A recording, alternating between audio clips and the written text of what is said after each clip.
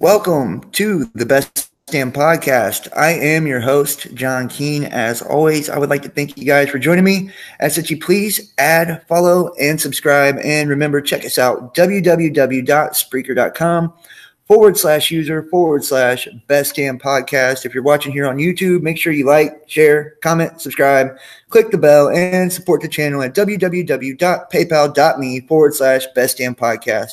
I want to go ahead and get straight to it. I'm really excited. Uh, I got my friend and uh, my brother in Christ, uh, the man, the myth, the legend, Derek Broes, the global witness. What's up, Derek? What's up, man? Well, I don't know whether I'm a myth. I don't know whether I'm a legend, but I'm a man. I'm so excited to have you, man. Um, uh, I here's one of the things I really love to do. Every time I have Gary Wayne on, for sake of balance, because I don't consider myself Gnostic, I don't consider myself Christian. I'm kind of in between. So I love to bring on you right after this. That way I can give a different take because you've always got a very great understanding of the truth and how all of this works. And I think it's we can get into you know I don't want to like bash one side or the other, but I there's a way different way of looking at things, and I think that you bring a very unique and uh, awesome way of looking at it. So I'm I'm really excited to have you, man. You're you're just a great dude. So thanks, brother. yeah, you know I've listened to Gary Wayne, and uh, I watched your show with Gary, and you know I I I, I can always just simply say that um, somebody can have a portion of the truth, but we fight tooth and nail to hang on to a previous understanding, so much so that we'll distort things in our own mind and our own understanding. And that's precisely what the church has done, which is convincing people. You and I were talking before we came on the air about, you know, uh, because Malia and I were talking, and it becomes so weird for us to, to try to figure out how can people not see the truth of Christ's words? How are they completely ignoring what he says in order to come up with their idea of what Christianity is? And how can these detractors and people and, and that have a different point of view? And that's why I said, you know, I, I don't think Gary's a bad guy at all. Yeah. Um, yeah. I only think that people become bad when they attack you, Jon, or attack me, because then you are completely out of the balance of understanding of who Christ was in the first place. And they'll justify it by saying, oh, and they go back to these Old Testament scriptures that talk about this God of wrath and and how, you know, hold them accountable. And it's like, where? Where were where was Christ doing this? Yes, he did uh, braid cords of whips and go through and and free all of the animals out of the temple, right? It didn't mm-hmm. say that he beat up anybody. And did he go out and intentionally go and attack a Pharisee? No, he waited for a Pharisee to say something to him and question his thought. And then he would clarify his thought uh, with what? Um, their own law, right? And remember, and remember that when he would quote it to them, he would say, Does your law not say? Right? Yes. yes. That's your law, brother. It ain't mine. Right. Mm-hmm. So he was, that's why he could tear down the law, but he wasn't tearing it down. Just like he said, I did not come to tear down the law, I came to fulfill it and the prophets. Right. But here's the amazing part the word that was taken from that is um, that you find in the other gospels is that he said, I did not come to tear down the law, but I came to translate and fulfill. He was mm-hmm. retranslating it for you so you could finally understand it because it had become distorted by the needs and the wants of man, which is constantly pointed to from the Pharisees, where they were more concerned about their place and their nation amongst the Romans. They were not concerned about things of God. And that's why he would say, Your mind is not on the things of God, your mind are things of man. For you speak with your lips, right? But your heart is far from me. Absolutely. Absolutely. And, um, you know, I think that Christianity as a whole has gotten really far away from the truth. If you uh, just look at the entire setup that they got going on, it's uh it's completely Saturn worship, is what it is, um, in a oh. nutshell. And it's been taken in a way to where it's externalized completely. There's there's no um, going within. There's no um, personal accountability for really anything and that's what i think the whole uh, you know we get where we push our sins off on on other things on other people. Um, this is where we you know we, we get a, a lot of our self-righteousness in this condemnation and this attitude that we have towards other believers towards other people. And I think the the the way that you have presented uh, a lot of these scriptures, at least for me, you know, I can speak for me that it has clarified a lot of things and opened up a whole new level of understanding, you know, for me personally. So I think you uh, do an amazing job um, at what you do. So um, now I heard you on Leak Project last night, and you were speaking about Yahweh being the beast. Now, can you explain this to the listeners of how that's so? And is this Yaldabaoth, Yahweh, the same thing? yeah, well, it, it depends on if you're, that's who they would refer to as Yaldabaoth, right? So in the Gnostic okay. text, they would refer to Yahweh as Yaldabaoth.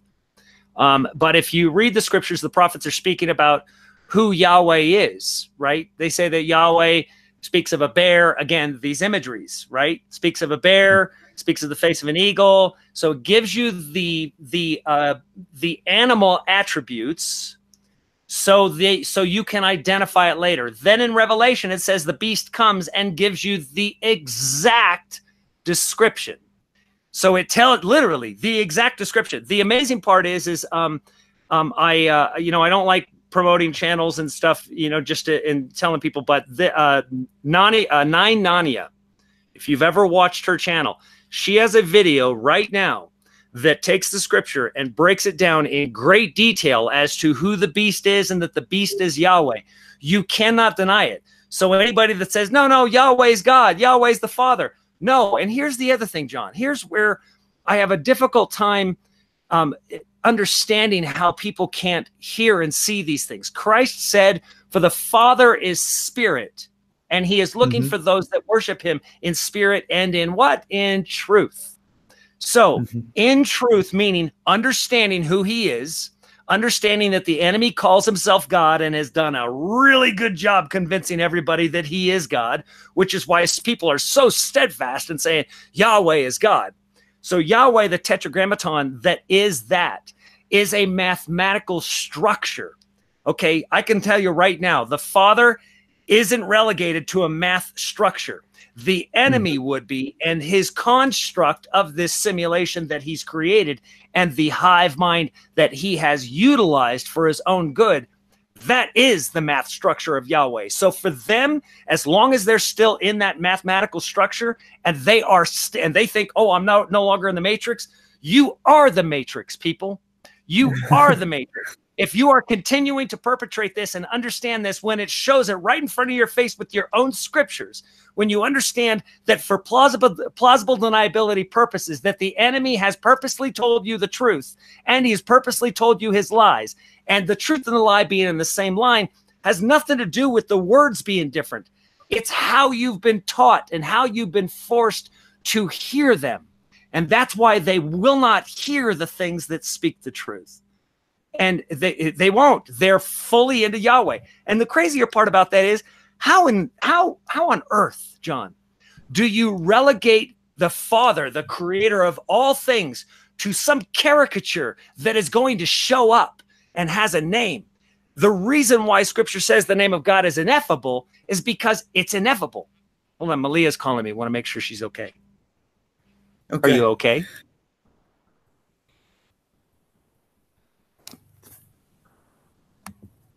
Now, um, I just I wanted to talk for a second, give him a moment. That way, he can. Uh, I'm sorry, I just wanted to make sure you were okay because I'm on Jon's show with him. That's okay. this. Uh, okay. I'm sorry about that. I just wanted to because I knew she knew that I was doing the show. So if she was calling me, then I wanted to make sure it wasn't an emergency. Absolutely, man. That's uh, very important. You got to take care of your girl, bro. No doubt. Now, so okay, we we look at the Gnostic text, right? Uh, and we have this description of a character named Yaldabaoth, and he's uh, the lion-headed, you know, serpent. He's uh, also Samael, the god of the blind, um, which I find, you know, that that name alone. Um, now, you talk a lot about how this world is set up and it's structured uh, just like with the Sumerian tablets, right? Uh, Enki, Enlil, there's the two God system. So, um, I like when Gary Wayne was on the other day, he was speaking about how the Bible has a lot of places where Yahweh would be in one place. Well, and then in other places where they would put my Lord, it would be talking about Adonai. Is this the same two characters just played out over again, Enki and Enlil? Uh, uh, it's two characters. And this is where the dueling gods come from. This is why it's difficult. That this is why you see within scripture, the, even though I say, oh, it's the bad God talking, and they go, but but there's also this good side, which is always going to be opposition. Remember that they're always in opposition to each other. And one mm-hmm. is always ruling, but not the same one is the ruler of the world. So if you go by the ancient Sumerian text, you'll understand that these both of these characters, so Yahweh, Jehovah, would be Enlil, and Adonai mm-hmm. would be Enki. Okay, so at different times. So Adonai seems more loving because he cares for his creation because we're it, not our spirit, not what comes from the Father, but this physical body and his manipulation of the DNA is his. Now, here's where this gets complicated for people where they can't quite understand that Enlil, at the time of that creation, was Lord of Command. Okay, so it's like, Jon, if you worked for me, right? And I said, mm-hmm. hey, um, uh, you are my administrative assistant. Okay? okay. And I said, I need you to build me a PowerPoint for this presentation. And you built the PowerPoint. And I used it in my presentation. I would say, my PowerPoint is this because it's mine. I hired you yeah. to do it. So it's still mine, but you were the creator of it. Does yeah. that make sense? Yeah. So yeah, yeah, Enki was the creator, but he was granted the authority by the Lord of Command Enlil, who actually didn't want to do it, who felt it was a violation. So in each one of them, you find right and wrong. So Enlil was correct that it was a violation to be able to take these spirits, breathe into life into these creatures that were manipulated. And that's why he said, It has grieved me in my heart that I have created man.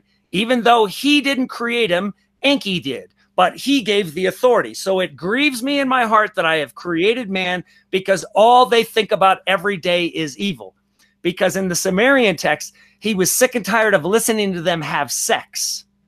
Right? Yeah. He was like, yeah. all they do. So here's the crazy part about it. Enki, being the enemy of his brother, created man so that they were also connected with the gods, them. So Enlil, being a superior being and connected through the DNA of these gods, could actually hear the thoughts of man.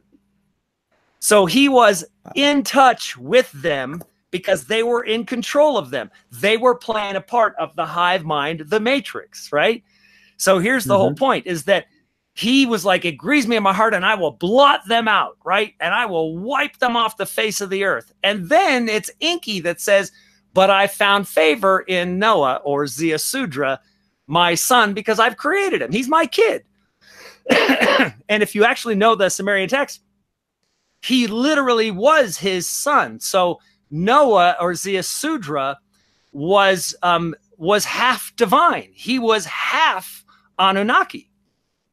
Right? Oh. So he was superior to everybody else. He had a higher level of consciousness. He had a higher intellect. That's why when you read in scriptures that he was unique and and even Noah's father, even in the Bible, says doubts that this is my son. This can't be my son, and accuses his wife of having sex with who? The angels, because she had. right? So, yeah. I mean, all of this stuff comes clear. And the Old Testament, the entire Torah, is a uh, is a plagiarized version of the Sumerian text. No question about it. However, within it, as I was talking to Rex last night, is embedded a different code of things because each construction of this simulation has a different set of rules. It's like me writing a writing an updated program. Right? So the Sumerian text having these truths within it reveal a structure. There is nothing new under the sun. Everything happens again. Right? And so the Torah itself became just um just the Bible 2.0.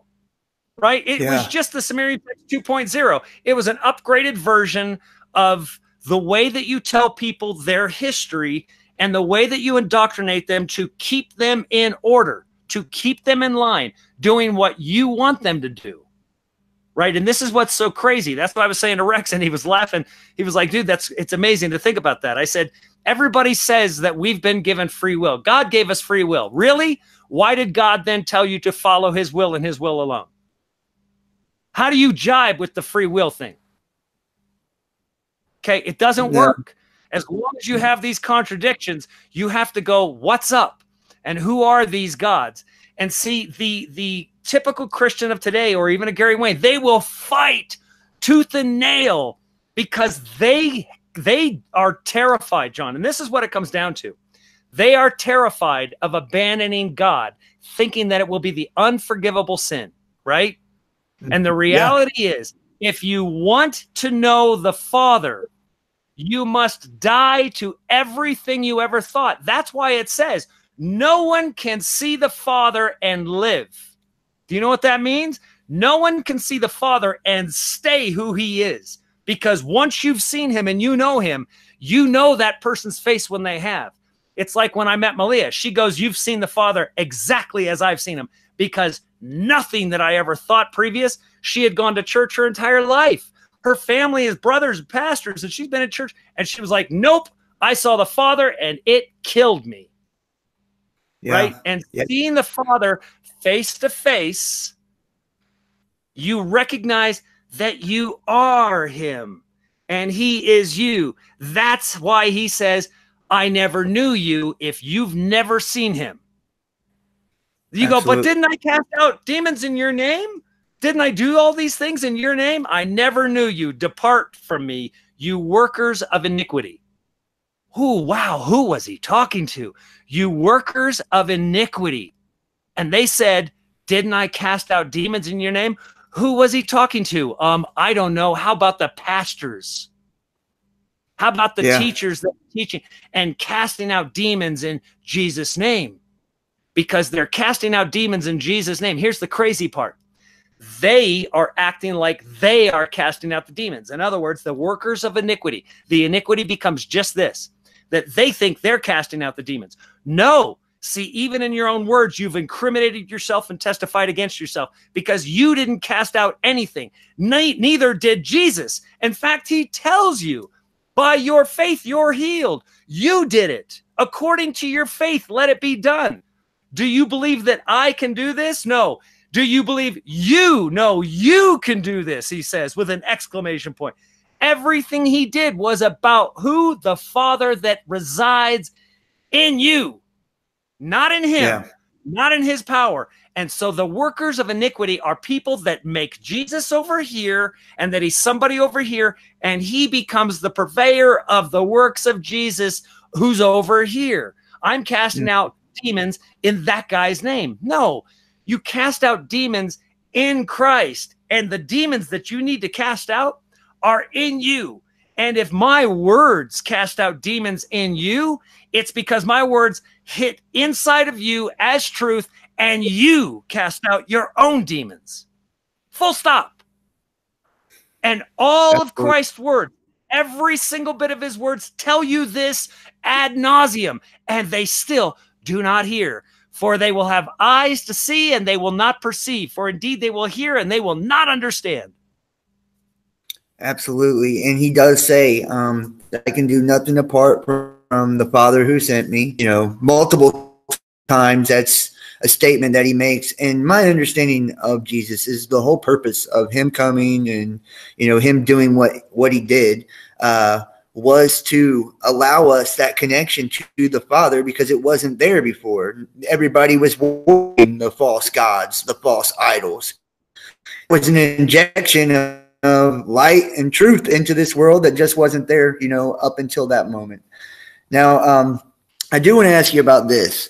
Now, uh, this is this is also kind of stemming from the Gary Wayne thing, and then we'll move to something different. Now, uh, his belief, and he's brought this on the show a few times, that uh, Gnosticism is the mystery Babylon religion that actually spurs out of the Nephilim teachings and Enochian magic, the seven sacred sciences? What are your thoughts on that? Um, no. So the um, it, if you want to know the ancient mystery religion, the ancient mystery religion, um, who would know the ancient mystery, which is the Egyptian mystery religion, right? Who mm-hmm. would know the ancient Egyptian uh, mystery religion more than a boy that grew up with the Egyptians and was at the right hand of, uh, I don't know, Pharaoh? Who would know that religion better than Moses himself, reincorporating yeah. it into the Torah? Folks, the mystery religion is literally an indoctrination of power and value and it all comes down to the system of Baal, which the invention and the magic of Baal is the illusion of structure of value. The illusion of structure of value becomes manifest in your monetary schemes. It is the image of the beast because the beast is a destruction of real authority, a destruction of real value, a destruction of real power, which resides in you and makes it separate from you and then establishes it in a religion and a monetary system that all works together to keep you subservient and to keep you in bondage as a slave. That, my friends, is the religions. That is the three different religions of the uh, of the Abrahamic uh, religion. And Abraham didn't think about that either. They have used everybody to incorporate these power structures. Abraham. That's why Christ said, if you're doing the works, you're not doing the works of your father Abraham. If you were, you'd be doing the works of father. Abraham was battling with the gods, which is why he's called my son Israel. Whenever you battle with these two gods and you recognize it and you're going to do battle with them, you become my son Israel. Israel means he who battles with God. Right now, Israel's a good thing. It is, but it's also a bad thing. It's a bad thing if you're the God that he's battling against, but it's a good thing that once you become Israel, then the city within you becomes Jerusalem. The city that rules, the king where the king sits. The king sits in Jerusalem, in the city inside of you, and you physically become my son Israel. Wow. Again, everything taken from a spiritual realm and put into a physical world to keep you deceived and go look over there. Israel's over there. It's in the Middle East. No, it's not. Israel isn't a country, and Jerusalem isn't a city, and the temple isn't a physical temple. It never was. That's why it's a temple made without hands, people. This stuff is uh, right in front of your face.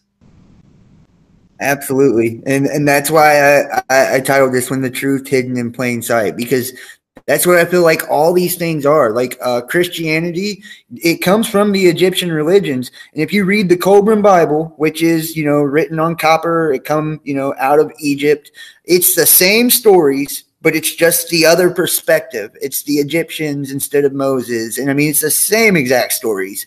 Um, over and over and over. And a lot of them, I think, might even give us more detail than what you get in you know some some cases of the Bible. Uh, now, I, I want to ask you about. Um, this is quite a you know uh, a topic, but the reptilians. Now, a lot of people believe that we have this you know this double helix going on. So there's there's two two sides of us. Now, is there a species of man in particular, like we know uh, the elites? A lot of people believe them to be reptilian, or is this something that's in every last one of us? Um, I don't know how that you can look at yourself in a mirror or you can look at your skin or you can recognize the double helix of your DNA or that you can read scripture and says that you're a descendant of Adam and Eve and Adam and Eve became descendants of the serpent right? So the serpent had infiltrated them. That's what the eating of the fruit was. There wasn't an apple okay? The, the eating was literally um the tree of knowing right of mm-hmm. good and evil. What yeah. what does knowing mean in scripture?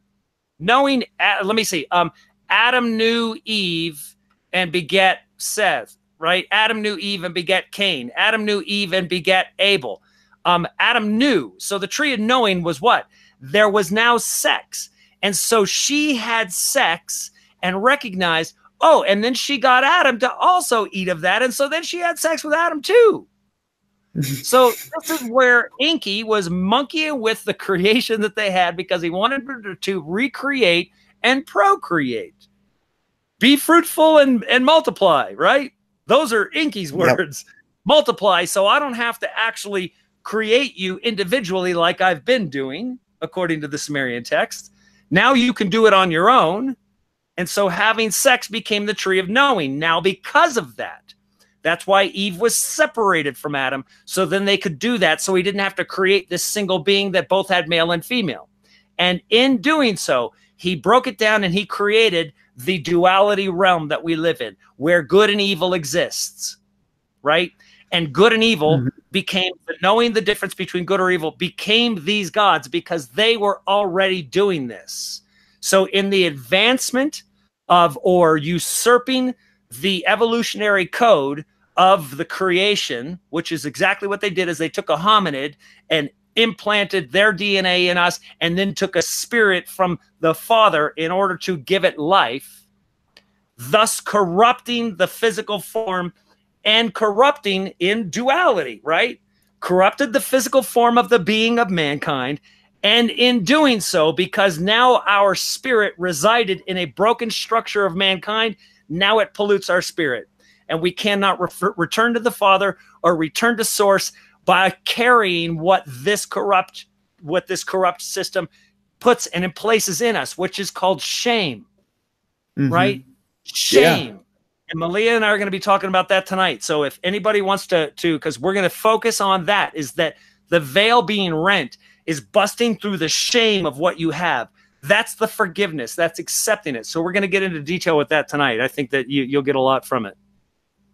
Absolutely. Now, uh, you you talk about uh, Adam and Eve and the whole reproduction thing. Does this connect to the Vesica Pisces system and why there is uh, many people believe there's like a splitting of of spirit now, and that's why the population um, continues to increase and grow on Earth? Do you think that that is that's what they did was split the spirit into fragments? Is um, and what purpose? Yeah, and absolutely. But see, I don't think um, I think it was genius and um, and also a mistake. So uh, you could something can be genius, right? I can go, wow, that was ingenious that that company did that. Was it against the law and illegal? Yes, right. So, but it's hard. So, um, the uh, yes, I believe that the Vesica Pisces system and splitting that spirit, that once you had two people you took their spirits and you made another one, and then that gets split off. And so that is the Vesica Pisces system, where the soul itself gets chopped up into pieces. And that's actually what the Egyptians knew was taking place. And so that's why when you look at the Seth and Horus and you look at the story of that, and you look in eh, look you got the pyramids which are a long way away from an ocean and inside the chamber of the pyramid where you have Seth and Horus you have them it is littered with um, with starfish all mm-hmm. over the walls. Okay. That to me tells me that they knew because the starship is rep- the, the starfish is representative of exactly that same system that it became that if you chop up a starfish in a million little pieces, it'll become a million starfish, all of the same DNA. Right. So yeah. the, that's kind of the that's what it is. I do believe that there are only a hundred. Uh,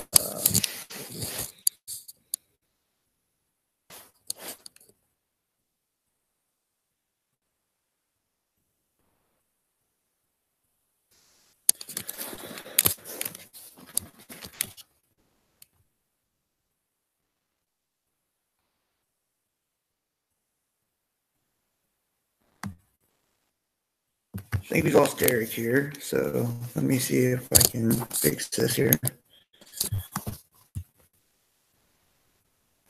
Yeah. Uh, well, hopefully we can get him back really quick. Um, not exactly sure what happened there uh, with him. He was kind of mid sentence. So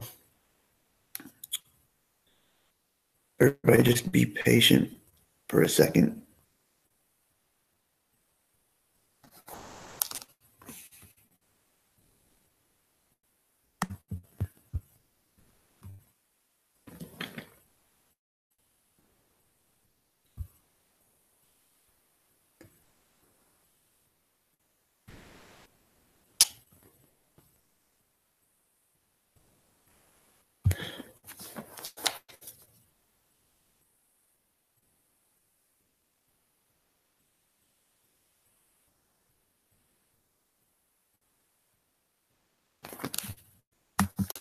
Okay, I, I don't know what happened Derek. I'm trying to get him back on the the uh, line here.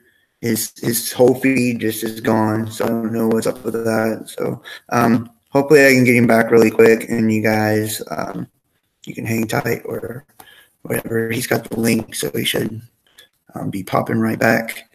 Um, never had that happen before. That's a that's a first for sure. Um, you know, um, but it's also expected, uh, really expected. Um, anytime you, you get into things like this and you start speaking about things that, you know, people don't, don't, don't want spoken of, um, sometimes you have problems with witness. Hey, I'm back. Okay. All right. Can you hear me? Yes, yeah, I, I, can I, My, my internet was slammed, went out completely. I've never seen that, man. I've never lost nobody completely. I, have seen them go out for a minute, but they usually. So I don't know. Yeah, That's but my weird, internet. Man. I mean, my internet on um here on my uh, on my internet, it went out completely. All of my wireless networks went completely dead. Wow! Wow! Yeah. Yeah, I, I, am not. A, I'm not a fan of the Gremlins, man. But I think he was on a roll, and they. I don't know. There's there's always something that tries to stop. You know, whenever you're you're telling the truth here. So I think you're you were doing an amazing job. It, it always happens, brother. It's it's not uh, it's not to be unexpected. You should always expect that. I, I've just I've gotten quite used to the gremlins, and hopefully everybody else uh, figures that out as well. So. Absolutely. I, I, I think we still got most of chat. It looks like we do, like as far as I can tell from the viewers and stuff. So don't yeah, look like, like we, nobody really left. Well, good. Glad you guys are, are toughing it out.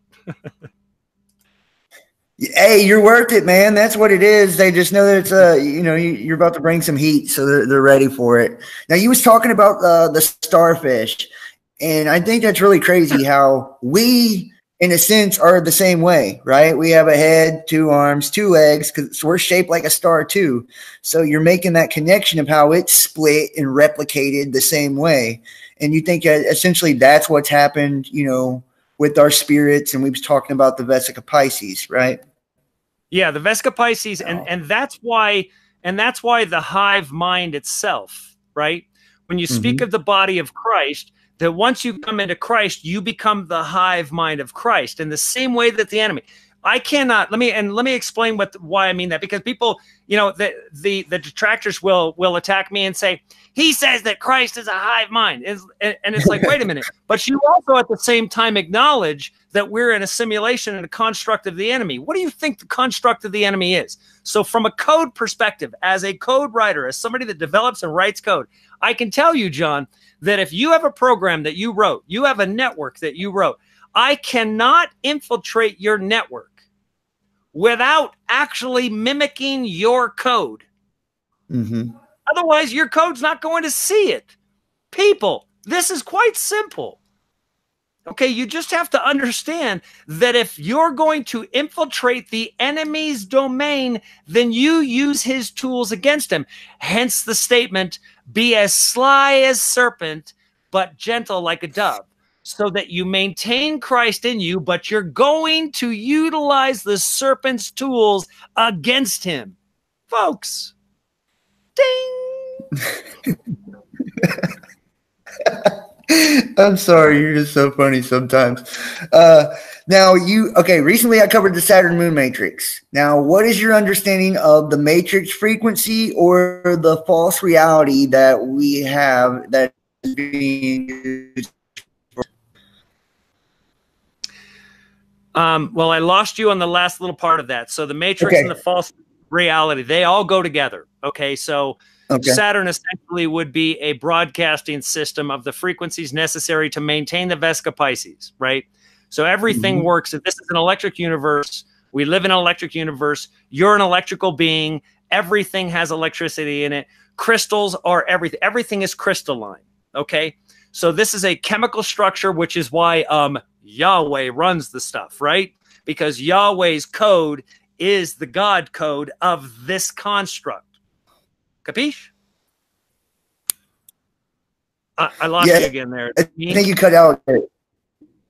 Yeah, you're back now. You just you just cut out the right before capiche. okay, here, here let, me, let, me, let me do this. I'm going to lower my bandwidth here and limit my bandwidth. Uh, maybe that'll help out. It, it'll probably reduce my picture quality, but at least you'll be able to hear me. Okay. All right. Yeah. Just, yeah. Yeah, that's that's. Is, well, Still go ahead. I'm sorry. Cut, Where did well, I get cut out? Video, well, if you need to cut video and just go audio, uh, I can do that too. So whatever you know works yeah, no, for I you. Just, I just I just reduced it down to a low bandwidth, so it'll probably degrade my picture quality, but you'll be able to hear me from an audio perspective. It's oh, cool. so I was they talking about crystal. That everything yeah. is crystalline, right? Um, everything, mm-hmm. everything here in this world is crystalline. Everything. Once you add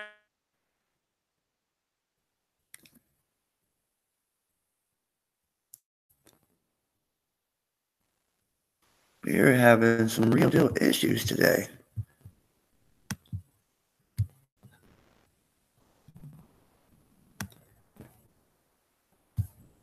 Okay, I, I just I just want to apologize to everybody. Derek's um, he's having some some issues with his internet. Maybe um, we can get into disable video and see what that does. Um, but I, I, I, was really excited to, to bring him in. Uh, you guys can see why. I mean, just the he's got a crazy understanding of how all of this works. Um, and as far as for me personally, he's uh, been a major influence in my life and on this channel. Um, you know, just a really good person. And um, if you guys didn't see him last night on the Leak Project, I think that was also another one that was uh, a really good um, example of just you know uh, how in depth his knowledge goes. And I mean, um, you know, like just a list of questions we've we've asked so far, like how we're just bouncing all over the place, and you know, one person uh, can have such a firm grasp and understanding of each of these things to me in itself is uh, pretty amazing. And it just speaks to his vast amount of knowledge. Um, I'm very certain, though, that we will, you know, getting back on here and we'll get this worked out. So I do apologize to everyone. It looks like there's 225 in the chat room, something like that. So I do appreciate you guys being very patient. It looks like that already. So that's awesome. Do we have you, man? Oh my goodness! Yeah, I had to do a full reset on all my uh, all my wireless again. Like I had to literally disable the whole thing and re-enable it. So I don't know what's going on because you know the crazy part is, Jon. I don't have any of my my connection issues. I never have connection issues until I'm live talking to somebody else, and then wow. the entire network will go out. Crazy. I, have never really seen you have any connection problem. Any connection problem. Yeah, when I'm live myself, uh, I'll have some gremlins, but primarily, I mean, I've really the whole wireless network here and all that, and it's it's amazing that uh, as I'm sitting here talking, I'll watch the connection to the network go down, yet the mm-hmm. router's mm-hmm. three feet from me. Right, yeah. so it's not like it, it's it's to me it's an interruption of something that interrupts signal between me and the router, which only a few feet from me. So I don't know how the signal could, could get weak. It, it doesn't make any sense, but. Uh, Man, I will give you that. You, you, it's not for the lack of effort. Not lack of effort. No, we're still doing it. Now we still um, give the effort. So, uh, so where did we leave off? Uh, we were talking about the Saturn moon matrix and um, the, the false signal that's kind of been sent out, you know, that's basically subjected, you know, mankind to this enslavement, to this uh, holographic reality that, that we live in. Um, you were elaborating on that, and I think we kind of lost you towards the tail end. If you wanted, I can move to the next question, or if you have more to add and we've lost him again. Man, so I think the key here is definitely to cut the video on his.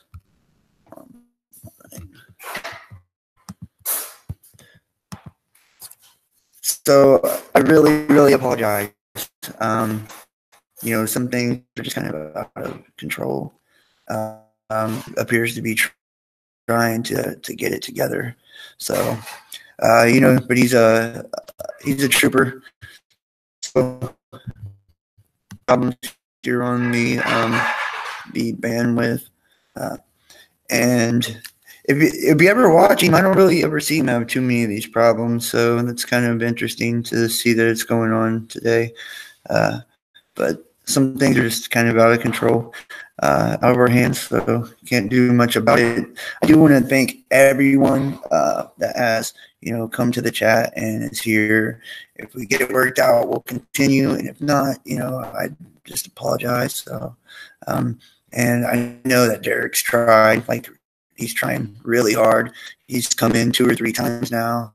So, yeah, it is what it is, right? Uh, I do want to say though that um, you know uh, I think it's very important for, for all of us to to question everything, you know, and that's why I really like to have all the different guests on, you know, uh, people like, like Derek uh, to give different opinions. Hey, Jon, I'm back. Okay. Okay, man. I'm using I'm I'm using the hotspot on my phone right now. So I'm going to kill the video camera. So uh so Okay. we're not limited on the Okay. bandwidth there cuz uh we're using cuz now my entire network went out. The all the the entire wireless system is gone. So something's attacking Wow. it. Wow. Well, uh, at least we maybe we can get you um, audio wise. Yeah, we'll get it done. Absolutely. Now, um, I, I'll go ahead and move to the next question. We kind of, we kind of, I'm getting like a little bit of feedback from, from my, my boy, my boy. Okay, uh let me try to fix that. How about now? I think you're good. I think you're good. Yeah, you're good. Okay. Now, um, moving on. I, I heard you speaking um, of the end of the long count, and I, I thought it was very interesting the way you was describing it. Now, can you talk about the end of the uh, age and the dimensional collapse? Yeah, so the Mayan calendar, you know, talked about 2012 uh, according to their math. And just let me just tell you something that the Mayans' math still is something that we struggle with trying to understand because it is highly complex. Um, what it is, is it's a math of a 10 base system. Right now, we are in a sexagesimal system of math. So that 10 base Mhm. said that they were far more in touch with the reality of this matrix. So their calculations of things was superior to anything that we do right now. Regardless of all the computational power right now, we still cannot compute in the same level of math that they had. So, with that said, that their understanding of the end of the long count meant that there was going to now be a collapse of the world. And essentially, I believe that that actually did take place, which was a shift into a lower dimensional frequency that Mhm. and that is why we lost things i believe that that is where the mandela effect comes from that they that in our existence okay in order to make this system of of flesh and the system of physical um, understanding actually work where you can see it. There are infinite universes right? So what that means is that there isn't a single universe that we live in that within it there is a universe um, right now Jon where everything is exactly the same except i touch my hat right now Mhm. and uh, in one of them but in the rest of them i don't. Right? So yeah. and that's difficult to understand but that's the variables of it so um, uh, let me put it this this way as well that if you were in a um, if you were in a car crash and you uh, or you thought and many people have probably experienced this and i was talking to my uncle about this the other day that imagine you know all through your life? Is there ever a time where you thought you were going to run into something with your car and you hit your brakes or you saw a car coming at you from the side and it didn't even hit you and you're like what the heck just happened? He was right there he was going to hit me and it didn't happen. The reality is it did. Right? So Yeah. for the and this is I know this is hard. This is a stretch for people to understand, but this construct is is very very complicated and it's very um, let's just say it's very convoluted from a code perspective. To me, I get it right because I write code, so to me, I understand mm-hmm. the different multiple layers of a network. It's in the same way that let me just put it this way, Jon, that um, if you turn tune your radio, right, you're listening to a radio station, right? Mm-hmm. You turn it off. Did that radio station stop broadcasting? No. It's still no. broadcasting. You're just not in that frequency. The same thing is, you know, there have been people that you will live out the days of your life. Like I tell you, like I, I say, that you will die ultimately at your appointed time. You won't die a second before it. There's nothing that you can do to preserve your life. You will die at your appointed time, period.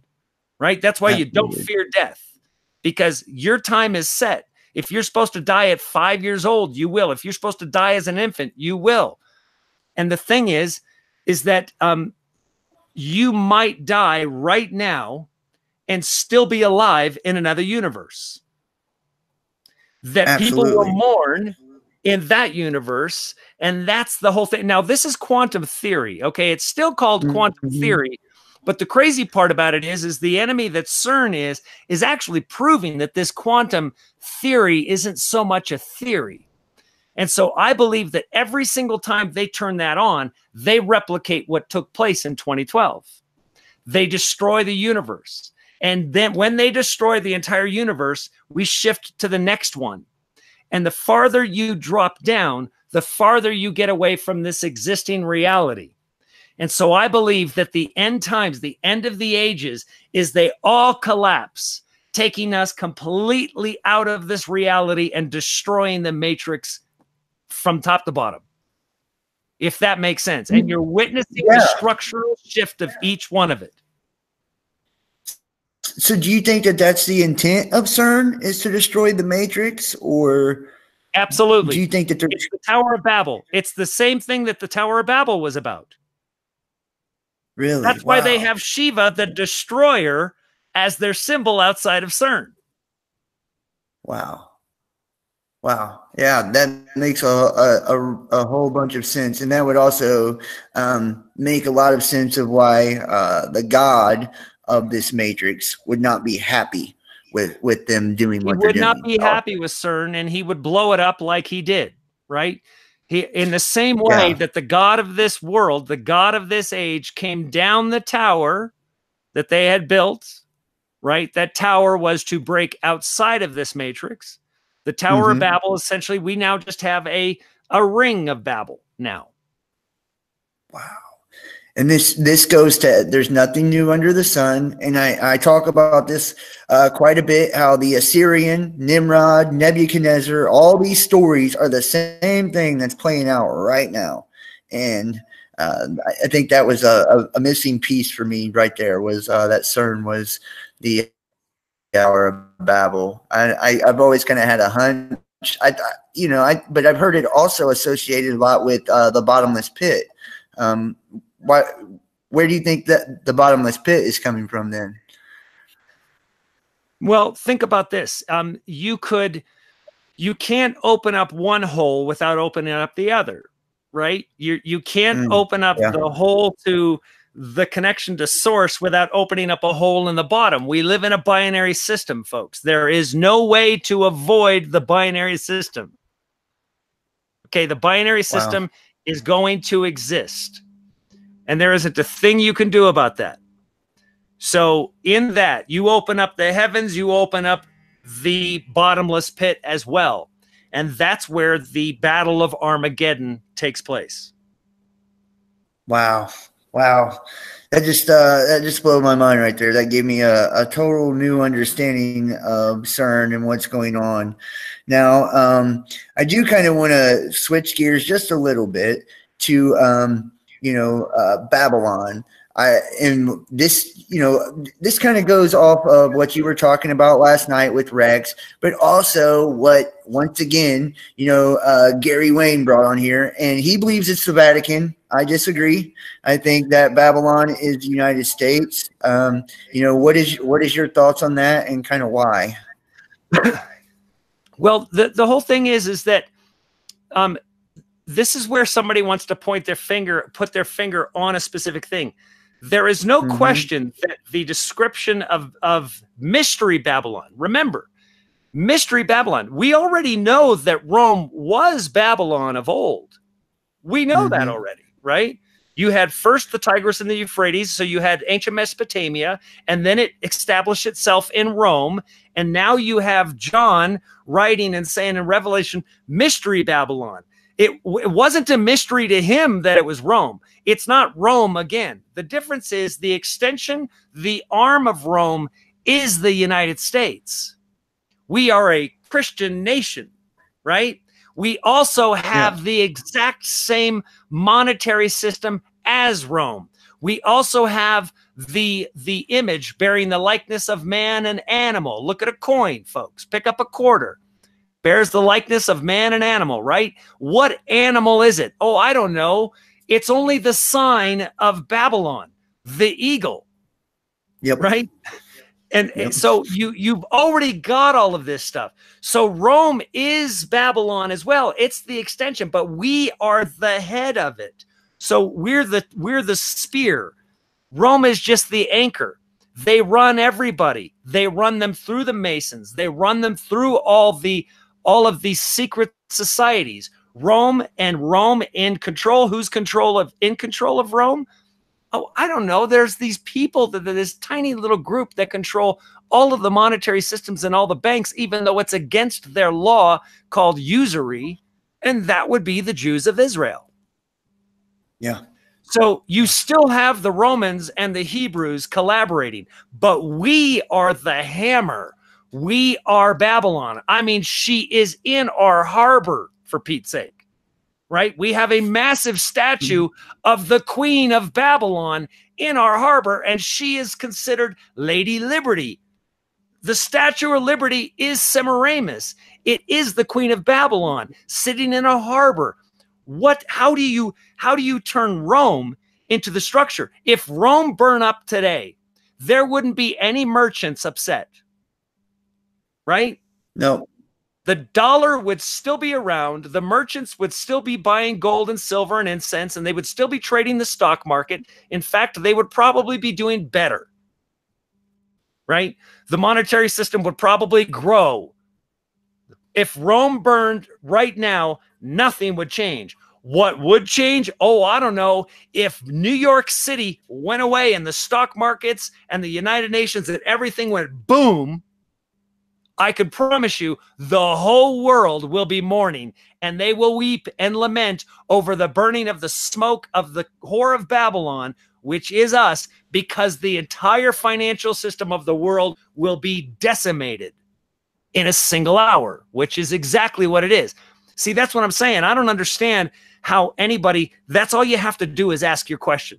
Somebody demands that it's Rome. It's not. How can you say that all of the results would happen? Eliminate Rome and then tell me the results of it.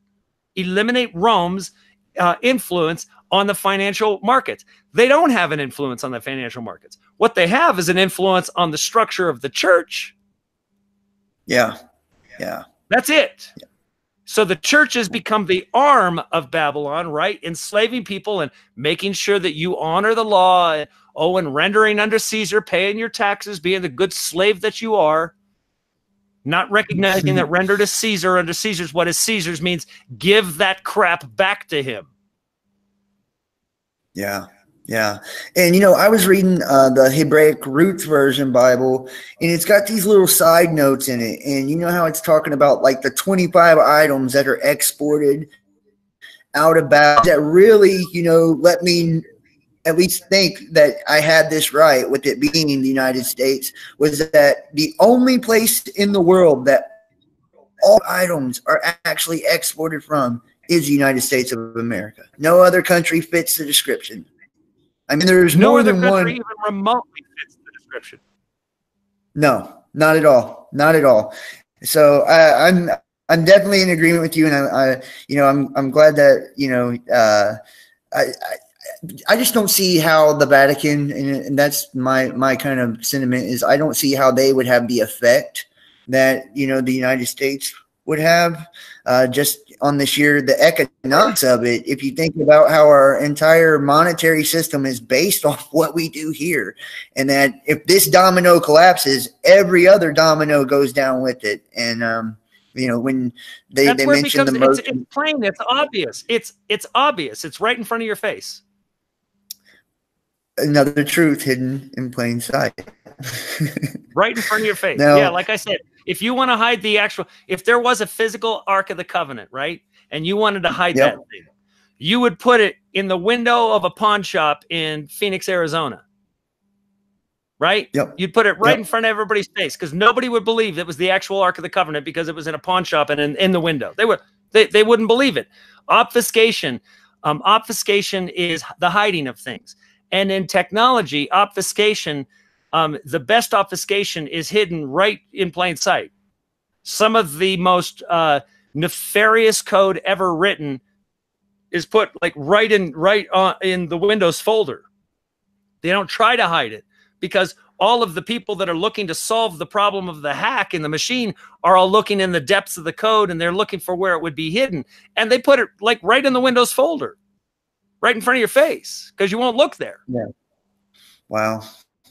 Wow, it makes sense to me. I mean, uh, you know, if if you really want to, you know, truly hide something, it seems like people will miss right, what's right in front of their face more times than not. Now, now uh, speaking of people missing what's right in front of their face, uh, what do you feel is the true intentions that's been behind the government shutdown and the border wall? Uh, again, if uh, that's a distraction, it always is because the border wall, what they're talking about is what 12 or 15 billion dollars. Um, they spent that um, arguing about it. Okay. Yep. It has nothing to do with money. That tells me right away it's complete BS. Not only that, the federal government prints money at will. It's not like it's a difficult thing. In fact, they just printed uh, another trillion dollars during the course of the shutdown, right? This is this is the, the news that they don't want you to see. Here they're arguing about a measly $15 billion, okay? Mm-hmm. $15 billion sounds like a lot. It's nothing. While they were arguing about that $15 billion, they wrote a, a check for $1 trillion just to finance the interest on our debt. $1 trillion. Wow. Now, you know what $15 billion is opposed to that $1 trillion? If I took a uh. $1 bill and I took the 100 pennies and I chopped up those 100 pennies into tens of thousands of little tiny chunks of copper. It would be a fraction of the tiny little chunk of copper that I chopped up those pennies into. Yeah. It's yeah. crazy. You wouldn't even be able to see the tininess of that little thing. $15 billion is nothing, nothing to $1 trillion that they wrote a check to finance nothing Jon, except interest on our debt. Okay, so that $1 trillion that this country just wrote a check for on your back, okay, that debt, yeah. that makes you a bigger bond slave, right? That $1 trillion won't do a single thing. It won't feed a single mouth. It will not clothe a single person. It will not build a single road. It will not help a single portion of infrastructure. It will not heal a single person. It will do nothing except finance the debt of the slaves that we have. One trillion dollars. So, what does that move People, say to you? Government, this government is going to burn for this. So, but what does that say to you, though? That they're they're they're writing uh, another one trillion dollars. Does that mean that they're going to try to keep this afloat a little longer, or is that them trying to implode it faster? Both. It, it it's um it's it's like putting it's like healing a um, a fire hose that busted by grabbing a children's water balloon and connecting it to repair the hole. It's a very mm-hmm. temporary fix but it's an inevitable explosion. So wow. they're only buying time so they can finish what they need to accomplish. Everybody knows that the explosion is coming. Everybody. It's not a secret. No, no, it's definitely not a secret. And I think that people are probably surprised that the economic collapse hasn't come before now. I mean, you know, just honestly, they thought it was going to come back in 2008. And I think every year after, we've kind of just been holding our breath. And uh, when Trump got into office, one of my first thoughts was, you know, the way he is with, with money and finances, I just kind of knew that his whole job was to A, orchestrate World War III, and to B, orchestrate economic collapse. That these were the two things that this guy is probably there for. And um, could very well be the very last president of the United States. Oh, that, that that's his job. Uh, I yeah. I believe absolutely he's he's the last president. Uh, I don't, you know, and I don't like putting things out there like that, but I, I believe that he's the last president. And if that means that he's the last president in the structure that we have, um, then that's probably the case too. But they will yeah. look. I mean, the dollar collapsed in 2008. They call it the mortgage meltdown to keep you away from thinking about the dollar. The the uh, the bomb that went off happened to go in the mortgage uh, community of banks, but the dollar collapsed across the board as a result of it.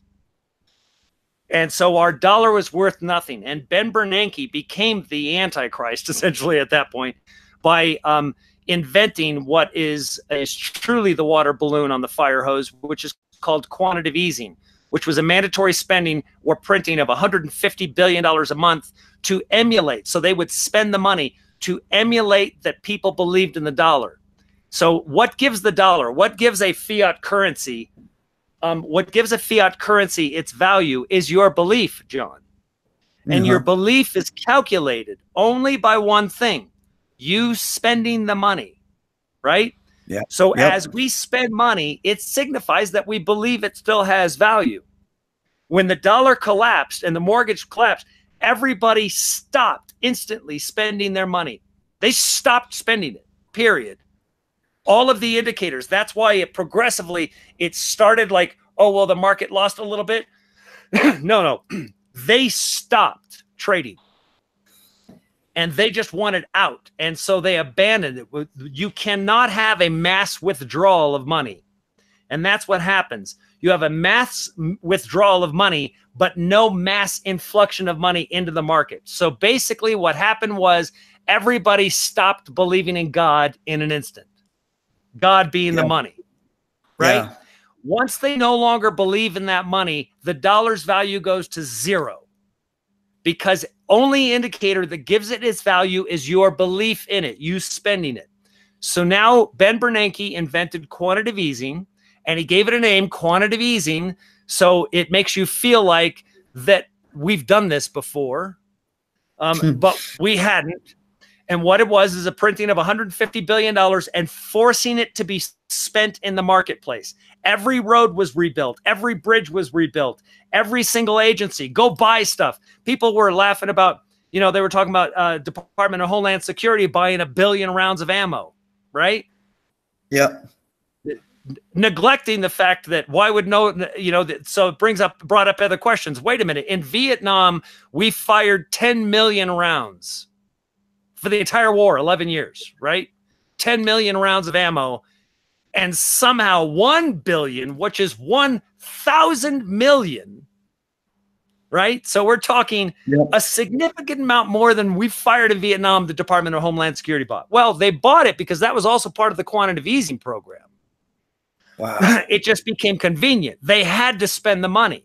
So the money had to be spent. There were underground things, deals like that, that were made by the thousands, where literally billions of dollars every single month were being sent to companies to literally uh, to uh, for instance like uh, the the solar company that went down uh, during Obama's administration right? They injected 350 million dollars into that thing every year for 4 years. It had nothing to do with solar panels. They could care less. It, they could care less about solar energy right?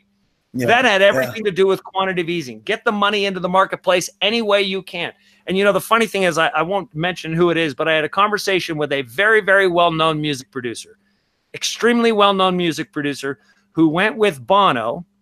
And I'm only saying this and, you know, not saying his name because uh, he, um, because he didn't tell me that I could.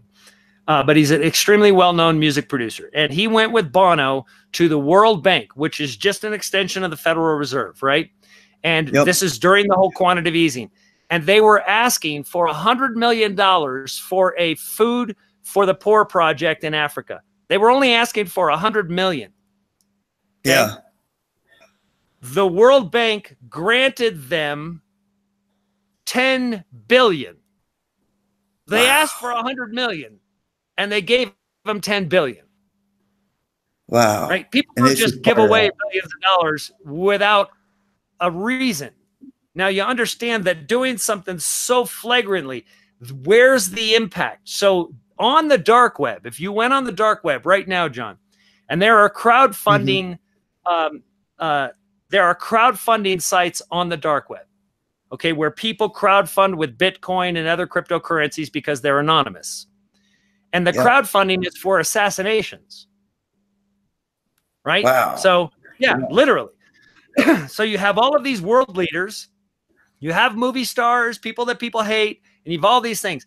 And for this movie star, they will have raised, um, they're trying to raise uh, uh, enough money. Like they'll just say, hey, we're going to keep this crowdfunding open until it reaches a certain amount. And when it gets to that certain amount, we will will kill that person right? And they'll go, here's what it's going to cost for the operation to kill that person. Obama was on there, and this is during the Obama administration. Okay. Obama was on there and he was hated all over the world, right? They only needed $20 million to kill him. And they had only raised of that 20 million on the dark web, they had only raised a half a million dollars. The highest priced murder on the dark web for this was Ben Bernanke. And he was going to cost $250 million to kill. And they had raised 180 million of it. Wow. You're talking about a man that, number one, if it's going to cost him more to kill than it would a world leader, Obama, on the dark web, you could bet your bottom dollar that he's got a lot more protection than the president. Yes. Right. Yes. Being the chairman yeah. Fed, the Fed, literally the guy, the guy that owns the presidency is the the the Federal Reserve, right? The the president yep. works Federal Reserve. People make no mistake about it. That's why the Treasury Department, which is the arm of the Federal Reserve that is in the federal government, is the one that runs the what? Oh, I don't know. The Secret Service. The Secret Service was established when Lincoln went against the World Bank and printed the greenback dollar. He was then murdered for doing that. And then they established the Secret Service, and their, their motto was we can never allow a president to be killed again. Okay? Again, a truth and the lie at the same time. They can never allow a president to get out of line so that he has to be killed because we'll kill him. So the, the Secret Service job is to make sure that the president does what he's supposed to on behalf of the Treasury Department. Otherwise, the Secret Service yeah. would work for, I don't know, the president, right? They would report into yeah. the White House. They report yeah. into the Treasury. Think about that. If you think of when Trump first got into office, his private security when he first came in, and it wasn't a month in that they they took away his private security and gave him secret service forcibly. And and you could see the capitulation from that moment on too if you like think about it. That was he might have had a plan to to buck the system. I don't know, but that that quickly went away. Trump went into the presidency saying that he was going to abolish the Federal Reserve. Okay. Yep. Yep. Um, as president, you don't get to do that unless you want to be killed. And by the way, it won't do you any good abolishing the Federal Reserve because the mandate that Congress gave them is a permanent mandate. It's a private bank, the Federal Reserve. It's a private bank, it has shareholders. It's not a government institution, but they do have a congressional mandate that can never be refunded. It can never be returned. It can never be made null and void. That's the stupidity of the people that allowed it. They were bought hook, line, and sinker. This country was purchased by the banks. Mm. It was literally bought, and that was the deal. So this whole illusion that the, the QAnon, okay, so this whole illusion that QAnon and this whole movement has these people under that somehow if they take down the Fed, that this is going to be problem solved. We're we're in the good now. We're, we're America's great again, and and all these things. This is just an illusion. All an illusion. That's not going to happen. And if it does happen, it happens because that is their intentional collapse, right? So there will be a one world currency. There will be. They will establish that. That's also spoken of, spoken of in Revelation. That's where the image of the beast, the beast is killed, okay? Mm-hmm. Has a bullet to its head. Boom, they shoot the dollar, and the dollar rises again with a bullet wound in its head. It just has a new name. Same wow. beast. Wow. Wow. So do you think okay, let me ask you this. Uh, do you think that uh, Trump kind of fits the bill for the the son of perdition or or you know one of these biblical characters that we also see associated with this um, with the the horns of a lamb spake like a dragon or is this just another metaphor for uh, the the monetary system um, there's see the metaphor itself never applies to a single thing. Okay, it's kind of okay. like when I talk about the two witnesses and people that believe they're two witnesses. Okay, the two witnesses is not two men. Mm-hmm. It is mm-hmm. multiple things. The two witnesses are the lie and the truth witness the lie, right? And the understanding mm-hmm. of the lie, which people believe is truth, where this lie now becomes visible because of the truth and them in the middle. These become the two witnesses, the truth and the lie. The mm-hmm. Old Testament God and the New Testament God, two witnesses. The Old Testament itself and the New Testament, two witnesses, right? Yep. the two gods of old, Enki, Enlil, the evidence of who they are and that they've done this, two witnesses. Um, and then there's also from a Christ standpoint, there are two witnesses Moses and Elijah. Moses being the one that helped the enemy and worked on behalf of Yahweh, Elijah being the one that exposed that. Moses and Elijah, which why, why Christ was transfigured into Moses and Elijah on the mountain to demonstrate the lie, the what the lawmaker that had adhered to what Jehovah Yahweh wanted, and Elijah who said, bullshit on Moses. Yeah. two witnesses there, and this is uh, the two witnesses, the blue and the red Kachina, two witnesses. Come on, people. There is no single understanding because we live in a binary system. If there is nothing new under the sun, the blue and the red Kachina represent the lie and and uh, and the truth. The blue and the red Kachina also represent the duality, the positive and negative. A hot uh, a, a hot sun and a cold sun. The blue being cold, the hot being red. Right? There is yeah. no such thing as having a single hot sun without also having a cold one. Otherwise, yep. the whole function of the universe or the solar system doesn't function. There is no such thing as negative without positive. There's no such thing as positive without negative. There's no such thing as light without darkness or darkness without light. There's no such thing as hot without cold. The binary system is hot and cold is a single element. Positive and negative are a single element, right?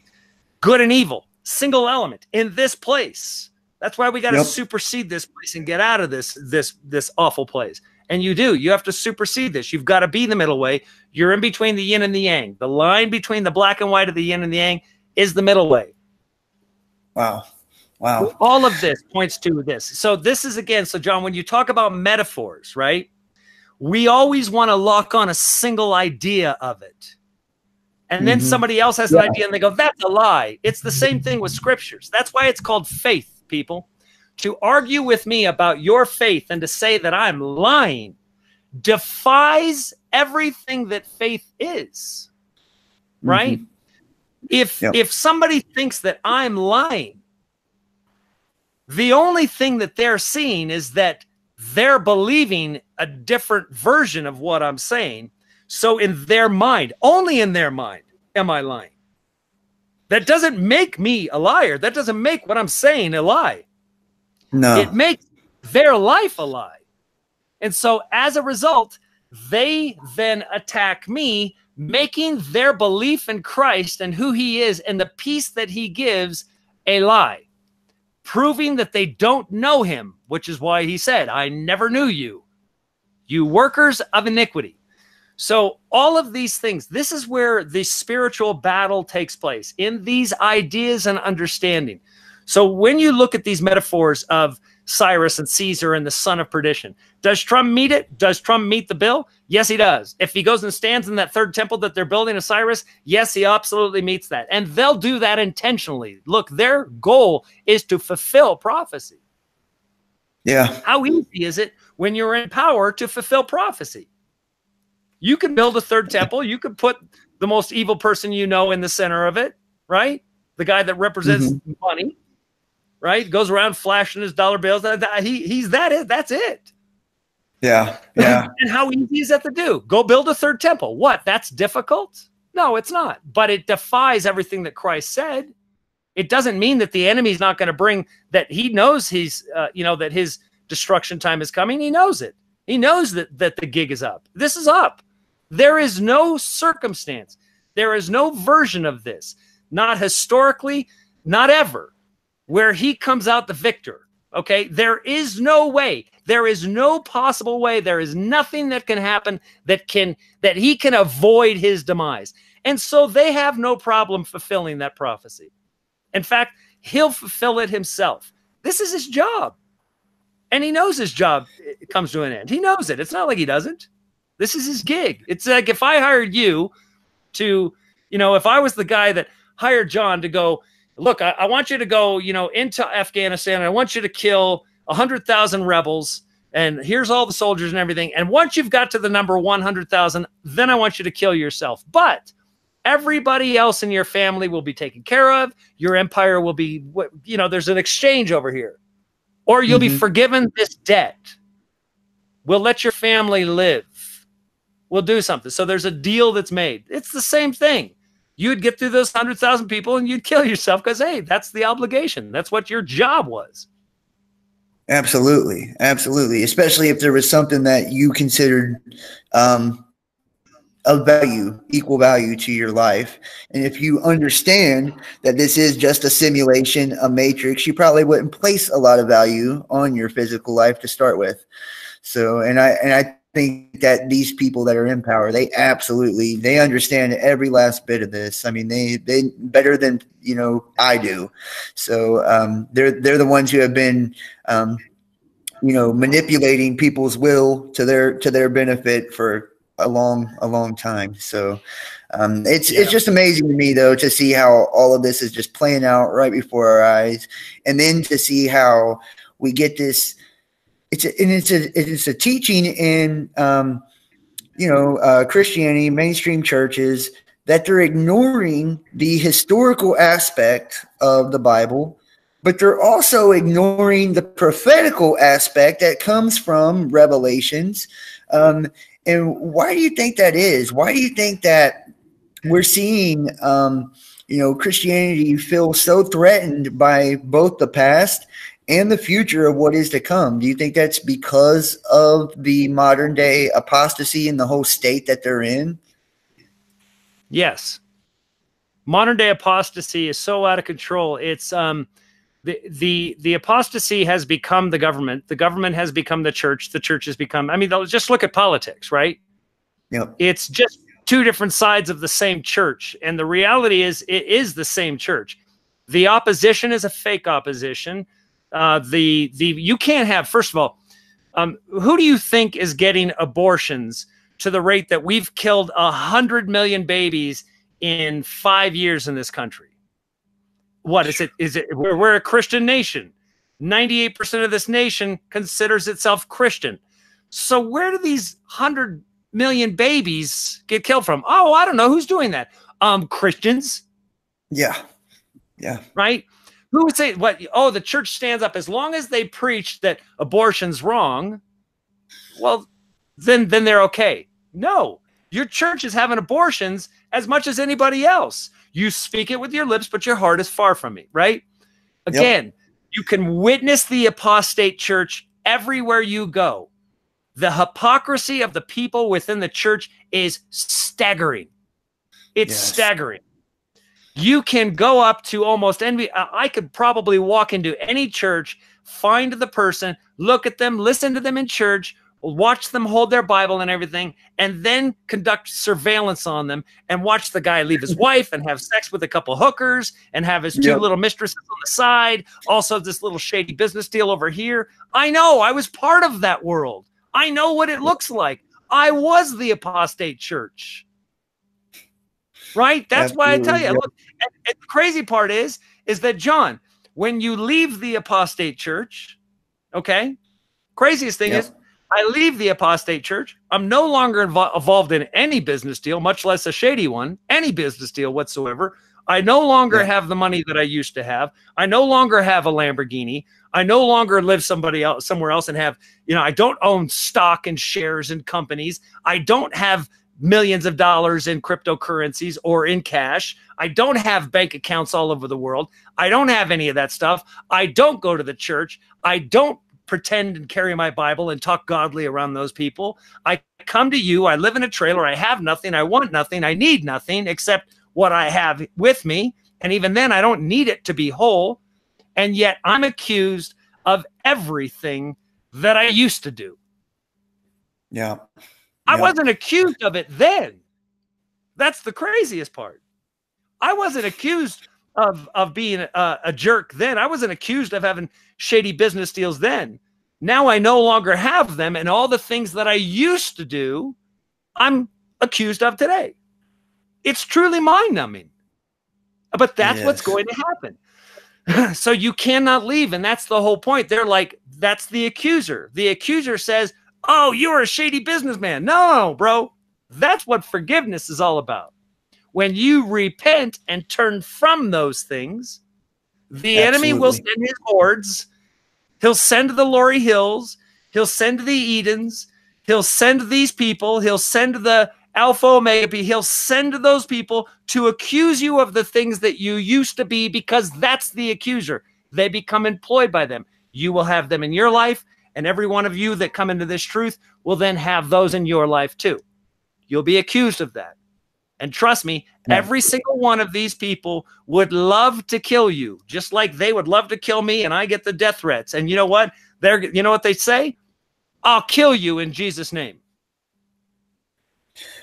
Which is insanity. It's insanity. It's like they missed the whole damn point. I don't get it. Gear up these attacks against people and you know and then they say that they got the love of god and then say well how can you how can you love this guy or how can you you know? I i don't get it. I thought that the number one command was to love one another. I, I thought that that was numero uno. I thought that that was the top one. So you know they'll and they'll justify this is what blows me away. You know they'll claim that jesus is their messiah yet they'll take paul's words and then supersede what Over jesus it. said every time. It's like proving, I don't get it. Proving, proving that Paul was the Antichrist. That, that's exactly he Absolutely. said. For there will be many Antichrist, for they have already come. They were among us, us Jews. They were one of us, but they went out yeah. from us. Mm-hmm. Same yep. thing. And, and, by the way, you know, they, and, and, he also said they will kill you and think they are doing the work of God. And isn't that the truth? I mean, isn't that what it's yeah. become? Um, and even if it isn't a physical death, it's a character assassination just the same. They are trying to, and I think that's the main reason of why you uh, experience a lot of your attacks because it shatters uh, a great deal of what's happened, you know, in the Christian message. Um, and I mean, even people like me, uh, you know, I'm I'm called a heretic, and I'm told I'm going to hell daily by these people. Uh, and I think that we have to be everybody and their differences. I don't always agree with everyone. I always believe the same as everyone, but I don't have to. You know, I think that you know you have been a a big part of that kind of as an influence to me, and knowing that you know your truth you know and if you know your truth then you don't have to tear nobody else's down i think that that's you know that's key into being sovereign in in this whole system right there um is to not yeah, feel why, the need would, to you know, Exactly. It's like, you know, people people write me all the time and they go, How can you like Jeff Doherty that he says this and he says that and he says this and he says that? I go, you know what? Whatever his truth is, is his. You want me to tear yeah. that guy down? To do what? What what would that accomplish? What would that Nothing. do? If you disagree with Jeff Doherty, well then don't watch his stuff right? Absolutely. If you disagree with me, you don't like what I say, then don't watch. It's quite simple. Absolutely. Don't you know if if you're not fed from it, well then you don't go eat something that doesn't fill you. So don't eat of it. Go find what you can eat that fills you. I'm not going to Jon, you could say something I completely disagree with. Uh, first of all, yep. I'll never say I disagree with it because uh, if there's one thing that I've learned is that I might think something's untrue right? And be like, I disagree with that. And as a result of me disagreeing, I never could actually see the truth that did reside in that statement. Yeah. Yeah. Right. I see what like you're people, saying. It's kind of like people will never ever hear the truth of 9 11 because they can never get past the part where that 9 11 was an inside job. Nope, it wasn't yep. an inside job. And as long as they believe it wasn't, they will never even listen to the evidence that would present and prove that it was. So it's the same thing. I won't say if you said 9 11 was an inside job, right? And I disagree with that. I will never say I disagree with that. I'll go, you know, it doesn't feel right to me. I don't know, but I don't know all the details. So if I'm shown the details, then maybe I might be convinced that it is. And so because I'm open, then I'll hear it. And people go, no, no, you need to be closed. I'll tell you what that closed mind is. That closed mind, people, that closed mind is the crown of thorns that they put on Jesus's head. That's the prison of your mind. Put your mind back in prison, right? He had a halo above his head. He had eh, he had risen to that. He had superseded his manly consciousness. And they said, Yo, no, you don't. Put that crown back on the, the crown of thorns back on your head. Anybody that attacks you, Jon, for what you say, they still have the crown of thorns on Christ's head. He yeah. never rose in their mind. Right? Yeah. He never rose because yeah. he's still got the crown of thorns. You're still you're still relegated with a closed mind. And that's why he said, if you will, you will see this. If you can, this will happen. That's how he spoke that way. If you can do it, if you can get past this, that's why he said the first commandment love the Lord with all thy heart, soul, and what? Mind. Love with all your mind. Now, he added mind. The Old Testament said, love the Lord with all your heart and soul. He added mind. So he was like, yeah. uh, no, I'm adding mind to it. So he said, they go, oh, he didn't come to break the law. Really? Well, he added to the law. He also subtracted. From it because he removed what wasn't necessary by issuing two commandments love the Lord with all thy heart, soul, and mind, and one like it, like he said, which is just like it. Yep. Now, here's the amazing part, which is just like it, Jon. Not a little bit like it, just like it. Love the Lord with all thy heart, soul, and mind. Hmm. Where is the Lord that you have to love? Where is the Father? The Father resides in your neighbor. Love thy neighbor as thyself, and you will find the Father which resides where? Oh, I don't know, inside this place.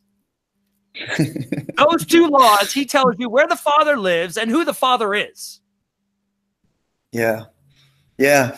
Absolutely. I think that's amazing. And I think that this is why it's really important for people to, um, you know, I think, and I think you put this out there the best too. The whole be a passerby, um, walk the middle way, not to put yourself on one side of anything or another. Um, because we do we we we polarize ourselves and keep ourselves from you know gaining truth this way. This is this is some this is the walls of the system. This is what they do. And anytime we put ourselves in a box put a label on us um, we don't allow other truths to enter into our life. And i, I just think uh, you do an amazing job man. So i want to i want to thank you for coming on. And i just want to thank you for the time that you've given. And just all that you do, Derek. A lot of people don't know. Um, just this guy is a really good dude and just all the good things that you do and you don't brag about him on your channel and stuff because you know that's what scripture says you're not supposed to but i'm allowed to. So i, I want to say that you're and you do amazing things for people. Really really grateful for you. So. Well i appreciate that don you know the the thing is is um uh, i don't talk about the things that i do behind the scenes because again um, that is what would corrupt it um, even in me, right? That if I get value from telling people the things that I do, well, that's my that's my reward. I've exchanged yep. the real value for the beast system again, a false currency, a false value. I live as I speak. I do. I live as I speak. Am I fa- am I fallible? Yes. You know what? Look, all the prophets said, I, I come from an unclean people right? My lips speak uncleanliness. We're a mess, all of us. Yep. So I don't, uh, you know, I don't pretend to think that I'm not part of mankind. I'm just as messed up. Have I superseded that? Have I elevated my consciousness? Do I do the things that I've done before? No. Do I hate people? No. Any one of my haters, any one of my detractors, Jon, you know this personally. If they pick yep. up the phone and they call me, they'll find a loving voice on the other line. Absolutely. I won't have Absolutely. an argument with them. I won't attack them. I won't tell them they're idiots, but they will attack me. Right? so I live as I speak. Does that mean that I'm perfect? No, of course not. Right? Yeah. And and I think that's the the dogmatic I am constantly self-correcting, right? If I ever if I ever have a thought that is um, unclean or angry mm-hmm. about something, boy, mm-hmm. I go instantly inside myself and go, where did that come from? right? But you, where did that come from? I think the fact that you're speaking these truths, though, you're a lot of times, and I notice that this happens to myself too, that you get hit with this dogmatic view because they think of like preachers and things like that and how they lie to everyone and act like they're perfect, right? And because we're not perfect, you know, and don't try to be, that they see that as something, some sign of weakness or it takes away from the things that are said. When, in my opinion, when you're showing your humanity to, to, to a people, you're being honest and you're being genuine, and that's transparency. That's that's truth to me. So, well, Jon, here's the psychology behind why people attack you. Okay, they want to prove when all of a sudden, particularly for, for me, my channel, when somebody comes to my channel, they can hear the truth, but then they begin to look at what people say about me and they begin to project that onto me. Right. So they'll go, he thinks he's the Messiah. Right. You've you've been on the phone with me and been on, we've had conversation where I go, no, no, you're the Messiah. Right. You, you the Savior yeah. is yep. in you. So you say, so why would I ever claim to be something that for for everybody else? No. Do I come bringing the message of the Messiah? Sure, I'm speaking in Christ. Of course. Does that mean that I'm the only one? No. Have I ever said that there is only one? no. So they they instantly see in you the bad part, just like scripture says. The darkness does not like the light. So, because I shine with the light of this truth, and people see me as being in that truth and being more righteous than them, the last thing they want is for me to be around being a reflection of who they're not. Absolutely. Right? When you become a reflection of who they're not, you are the light and they are darkness, and they do not want you present. And so, and Jon, we were talking about this earlier for people like this this lady, right? Yeah. That was in this truth, that listened to the videos, came into this truth, and then once she did, when she realized that she had to abandon this Yahweh God, this single thing, right? Yep. That became such an issue for her that she threw everything out, everything that she knew was true. She she threw it out. Okay. Now, The only way that she can go back to her previous way of thinking in the dogma church is to try to destroy me. So the attempt has nothing to do with me. The attempt is selfish on every level. She needs to destroy me in order to destroy the truth that she came into. She can't get rid of it in her heart. She knows it's true and she's trying to go back into the matrix. Now, this is the guy that obviously what did what? Tried to kill everybody on the ship and kill Neo. Why? So he could go back into the matrix. That's the same thing. That's what the that's what the entire the the entire story of that is. Is that he knew the truth. And right. then what he do? she's like, no, no, Morpheus freed us. He didn't free us. He gave us this crap. I eat nothing now. I live in poverty. I got to stay in this crap. I eat the same goop every day. He's irritated that he's not in his fantasy world anymore. Right? Yeah. Because guess yeah. what? And what that what is that? The seeds that get sown on the different soil. Okay? So this yeah. lady the, this lady represents that parable. That the that the persecution that comes as a result of the truth that you have gets plucked up by the enemy because you had no root in you.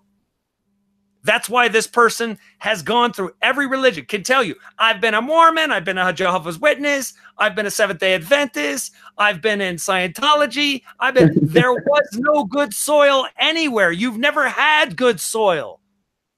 That's hmm. because you're not actually seeking the truth. You're seeking to listen to somebody that will tickle your ears. I'm not going to yeah. tickle your ears. And if you come into this truth, I tell you point blank, this is going to be the hardest thing you've ever done. There is nothing more difficult, but it is also the most freeing and the most liberating thing because you are no longer a slave to anyone or anything. It's just, it's, it is life but you're living in this hell. But you're alive. I'm alive, baby. Man, I love it. I love it, bro. I just think that you know, and that lady, it's it's what what what really points it out. You know, to me is to me it feels like in her case in particular, she's trying to justify her own righteousness. Um, there's no really, and if you see, there's there's she's not attacking you on a specific doctrine. She's not attacking you on a specific belief. She attacks me too, just for being your your buddy.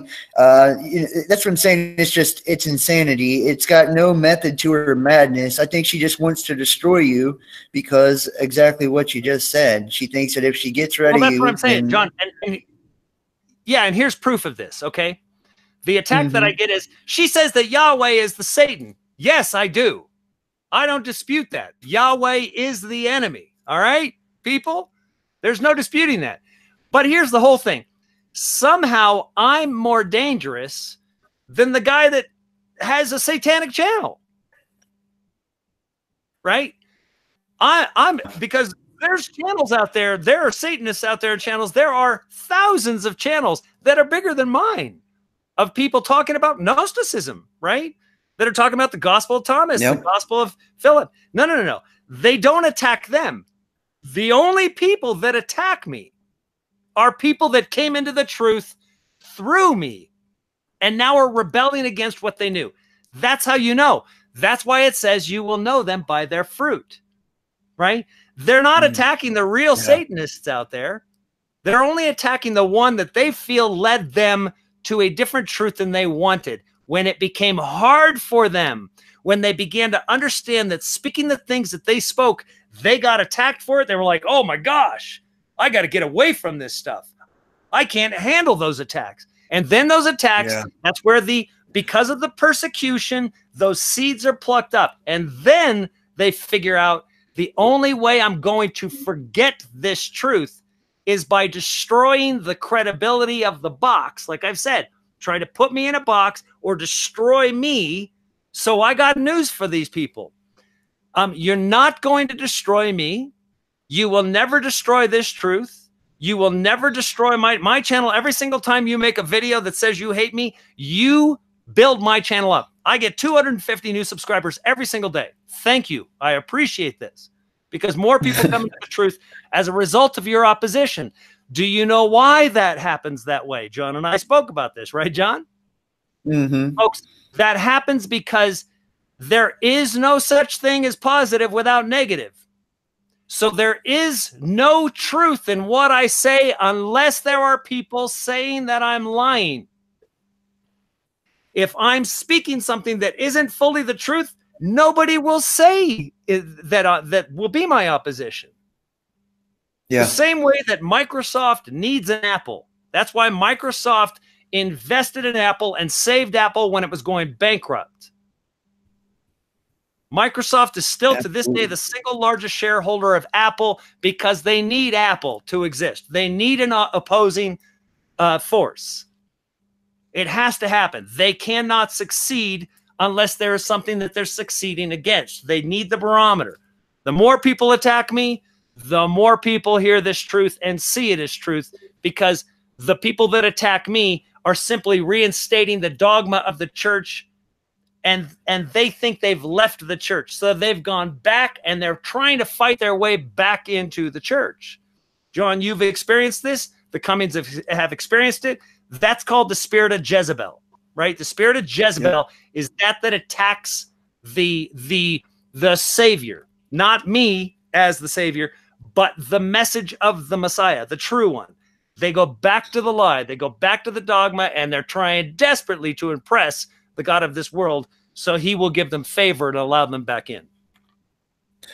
Absolutely. Absolutely. And one of the things that I've just come to terms with if the world is against you, you're probably doing something right. So every time that well, these these people He huh? said if you were of the world, the world would love you as their own. Absolutely. Absolutely. Right? if you're of the world, the world loves you. Just like when I was of the world, the world loved me. Nobody accused me of being a bad guy. But now that I'm not of the world, they accuse me of being of the world. Why? Again, Jon, this is exactly what I was just saying. They need me to not be the light. As long as I am the light, they are darkness, and I am the reflection in the mirror of what they are not. All I do is expose them. You cannot, Jon, you cannot show the brightness of your candle by putting out the candle of somebody else. It will never increase the light of your candle. No matter mm-hmm. how many other candles you put out, your candle will never be brighter. But if you don't have any light in your candle, when people get irritated and they think that, oh, I have light in my candle and nobody's listening to them, and then their ego is damaged and they're inflated and they're super inflated and think they're the two witnesses and things like that, right? Those that exalt themselves will be humbled. Um, 350 subscribers, 315 of which are probably my subscribers. That's called being humbled. There is no light in your words because you're still living in ego and have exalted yourself. And until you get past that, nobody will see your light. And you cannot increase the intensity of your light by decreasing mine. Because, first of all, I'm going to tell you right now, you will never, ever put this candle out. Copy that? I love it. I love it. Oh man, uh, I dude, I, I just I thank you so much for coming on, Derek. I, I know that probably everybody on my channel. If I look at the analytics, I swear we are the the the number one related channel to me is you, and uh, all my taglines. Global Witness sends almost everybody here, but if they're not subscribed to you, then they should be. But I'm assuming they are. So, uh, yeah. And let me just say, Jon, before before we close out this show, I want to say this to everybody out there Jon is genuinely a really good guy that genuinely does research, that's genuinely trying to put together very good content to help keep you informed about what's taking place. Um, he's trying to to help all of those people in different areas of this. So please, when people like Jon and myself, when this is all we do, okay, this becomes your job 24 7. I mean, I am literally answering emails or texts or doing something with studying something so I can bring it to you every single hour of every single day. So please, everybody, Absolutely. please support Jon. Go to his PayPal. This is his only source of income, right? I, am helping his channel. I've tried to help him, uh, you know, pumping up the numbers to get it up to 9,000. I'm working with him behind the scenes, try to get that up so he can at least make a living and feed himself and his children. And we're talking basic needs. Nobody's getting rich on this stuff. Trust me. Even a channel that has, even a channel, if I were to monetize my channel right now, okay, I got 53,000 subscribers. If I were to monetize my channel right now, the most my channel would make from an ad revenue standpoint is probably about 2,500 bucks a month. I don't yep. monetize the channel. I don't make money on it. But if Jon could make two grand a month on the channel and and from support from you guys, well, at least he can feed himself and he can continue to do what he does. So please just go to his PayPal and support Jon. Even if it's five bucks a month or 10 bucks a month, whatever you can do, support Jon. I promise you, I've watched how he handles himself. I've spoken to Jon in the background of the conversations. I know how he conducts himself. He's a good dude. He's not screwing anybody over. He's not getting wealthy on this. He's literally just trying to feed his children. And Derek has been such a help for me, man. You've helped me grow so much. Just you know, mentoring me as far as just different truths. And um, this channel wouldn't be nothing without you. So I, I always say that to you personally, but I'll, I'll say that on air. I don't give a shit. so uh, I, I really appreciate you, bro. I really do, man. So. I well, I appreciate you, Jon. I love you. I love you much. And uh, to all of your subscribers, like I said, support Jon. He's a very, very good man. And and uh, and if I have the ability, I do. I, I support Jon just like I'm asking you to do. So don't think that I don't. Absolutely. You do. Absolutely. Derek is awesome. He's the best. So I just love you, bro, for real. I love you too, man. Thank you. Well, thanks for having me on. I appreciate you. All right. I appreciate you too, man. I love you. And uh, the link is in the description to the Global Witness channel. I put it at the top. Uh, if you guys want to follow the podcast, it's www.spreaker.com com forward slash user forward slash best damn podcast. Um, yeah, email the real best damn podcast at gmail.com. All the links are in the description. I thank you guys. I love you, and I will see you next time. Bye, Derek.